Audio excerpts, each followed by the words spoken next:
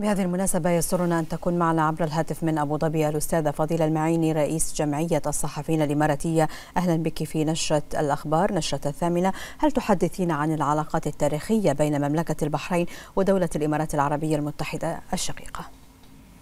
مساكم الله بالخير والنور إن شاء الله. أهلنا وأحبانا في الحبيبة الغالية مملكة البحرين.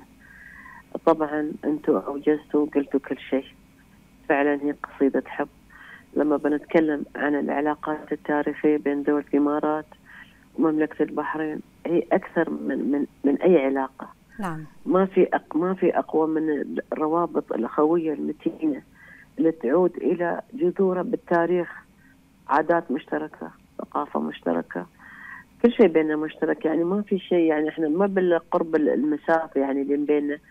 كل شيء بيننا مشترك صراحة روابط عائلية طبعا الجوانب المصالح الاقتصادية المشتركة هاي فيما بعد يعني.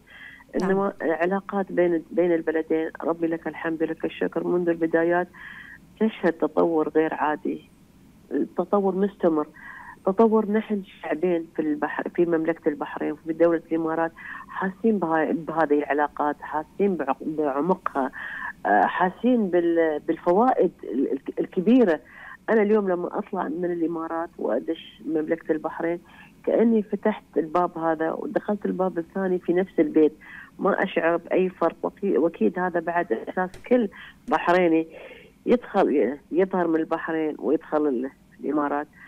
آه، أكثر من كذا أنا قاعدة أقول لك إن اللي رسخ هاي العلاقات القيادتين الحكيمتين منذ الأزل نعم. سواء في في مملكة البحرين أو في دولة الإمارات.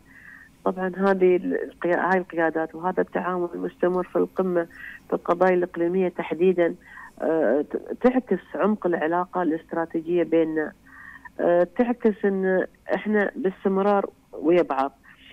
في الجوانب التاريخية بعد أرجع وأقول سامحوني شوي مريضة إن روابط ما يعني عمر العلاقات ما بالحين. قبل تأسيس الدولتين الحديثتين سواء في مملكة البحرين أو أو في دولة الإمارات. نعم. علاقات تعود إلى ما قبل تأسيس الدول. علاقات قديمة يعني ما نقدر نحن آه، ننسلخ من هاي العادات من هاي الروابط. حاسين فيها. الخليج العربي باستمرار يعني قبل في السابق كان محور للتبادل التجاري والثقافي بين الشعوب. إحنا بعد بعد هذا القدم دخلنا مرحلة آه، مجلس التعاون الخليجي. هذا المجلس صراحة كان مجلس خير علينا عام 1981 الإمارات والبحرين في في هذا المجلس شريكين أساسيين في تعزيز آه، التعاون الخليجي. آه، المجلس آه، شكل مثل ما تقولين منصة لتعزيز العلاقات السياسية والأمنية والتعاون الاقتصادي بين بين البلدين وبين كل الدول الشقيقات يعني. لو تلاحظين إحنا في مواقفنا السياسية نعم.